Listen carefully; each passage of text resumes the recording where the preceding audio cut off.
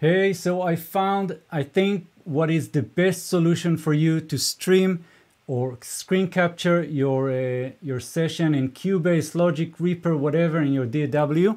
I'm gonna show you how I'm doing it and I'm not using Voicemeeter, I'm using OBS, but the setup is so much easier.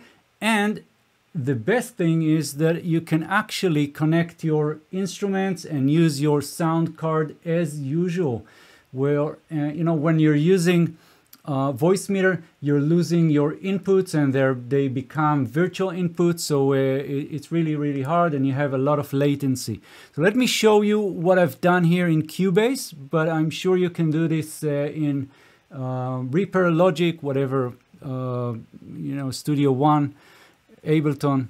So let's, uh, let's have a quick look here. So first of all, um, we need to understand the problem. The problem is that we want to have Cubase send the information, send the audio to OBS. And I'm not teaching you OBS, but I'm going to show you some, uh, some of the stuff here.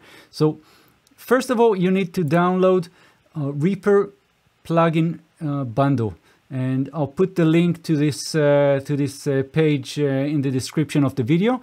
And I'm downloading the, um, the 64-bit for me. I don't know if you need the 32, so uh, whatever works for you, whatever you need, and install that. Next, I'm going to Cubase, and in Cubase, I'm going to put that plugin, um, the ReaStream, on the master uh, track. So let, let's go to, um, to my uh, console here, and you can see here that I have uh, this, uh, this plugin here right? This is the one. There you go. Now, you need to set it as a, as a sender, okay? You have two choices. You can either send it as a receiver, uh, set it as a receiver or um, as a sender. We're sending and we're sending as a local broadcast in, um, in our uh, system. So what really happens is that uh, th this plugin will take the audio and uh, just send it over a local network that is uh, bound to your system. Now, of course, the other uh, very important part of this is to have a receiver in OBS. So I'm going now to OBS and in OBS, I'm uh, adding an input channel here. This is Cubase, so uh, what I've done is clicking the plus here, selecting audio input capture, and uh, then I can uh, um, set it to, to the defaults. You don't need to do anything, just set it as the default input. But this is the very important part. This is the, the, the real uh, deal here, is that you need to right click here and select filters. So maybe you don't know that, but in OBS you can put plugins on the input channels.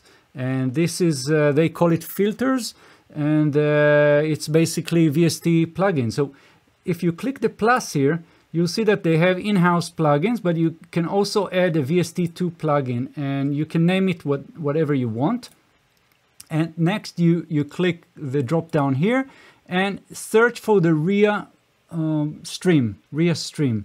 So it should be somewhere here. And um, there you go. Uh, it's, uh, let's see where it is. RIA, I'm missing, here, here you go. That standalone thing, the first one. I don't know what, why it, it, it is listed twice no idea. Maybe maybe it's uh, VST2, VST3, 32, 64. I don't know. I, I I'm using the first one. Anyway, I'm gonna close that um, and uh, I'll, I'll, go back. I don't want to mess with my uh, setup here. Again, filters, and I don't want this second one. Just click the minus here. And there you go. If you click the open plugin interface, you'll see you'll see that uh, we uh, we have that uh, filter in and let's see where it is so um, maybe it's already open let me close that and minimize that so this is the sender and we need the receiver go back here right click filters open yeah I don't know anyway as you can see, we have the receiver here. So let me play something and I'll show you that this actually works when I'm playing. Um, I'll, I'll, just play my guitar here or whatever. Let's uh, select here. Okay, this is the receiver. Okay, this is from the OBS. You can see the icon here. So I'm gonna play something.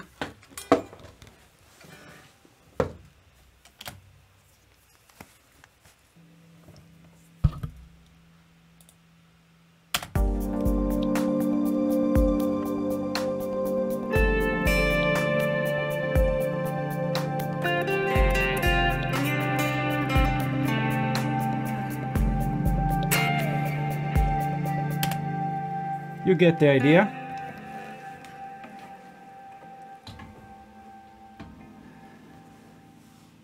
Okay, so um, what we have here is uh, it, it is exactly what we wanted. We wanted to record our um, our session, my Cubase uh, here, or maybe it's a Reaper or you know whatever software you're using and we wanted to have it with the full functionality of our audio interface.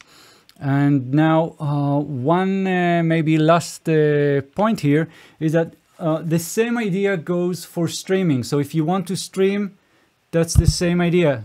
Sorry. So you, you go to um, to uh, to OBS and you just stream things. If you don't know how to stream from uh, from OBS, uh, then check out my other uh, tutorials in my channel.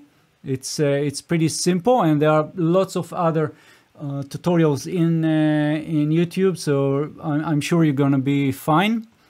One very important point here uh, to make is if, if you're new to this and uh, you, you, don't know much about OBS, something that is really important for us uh, tutorial guys um, if you want to have the audio channels separated, meaning you want to have one audio channel for your uh, mic, in, the, in, in, my case here, this is the condenser, it's, uh, it's connected to my audio interface, it's not a USB uh, microphone, and you want a different channel for Cubase or your, uh, your software, then you, you have to separate those. So if you right click any of these channels, right click here and go to advanced audio properties, you see that you have all these uh, uh, channels here and my uh, my microphone here is set to mono. This is important.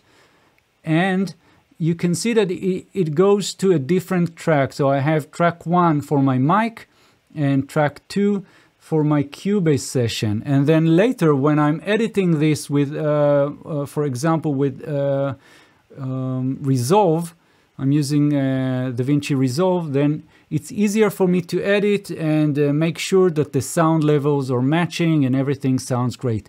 So this is the idea. I think this is really, really good. I've been searching for a good solution for quite some time and I had lots of people asking me how to you know to do this especially now that everybody wants to stream their uh, their work and DJs and uh, producers so this is really really good now, uh, one thing that I would like to ask. First of all, I've not tested it uh, a lot. This is uh, pretty much the first tutorial that I'm doing here. So I, I, would like to hear your comments here. If you have any other ideas or any problems that you see. And second, if you find even better solution, let me know and I'll be happy to review that and create a new tutorial. And that's it. So if you um, if you like this, please subscribe to my channel because I'm uh, really, really happy to see more and more people uh, joining me here in, uh, in my channel. And if you have any questions or anything at all, please leave a comment. I'll make um, an effort to answer if I know the answer, of course. So uh, yeah, I'll see you in the next video very soon. Bye-bye.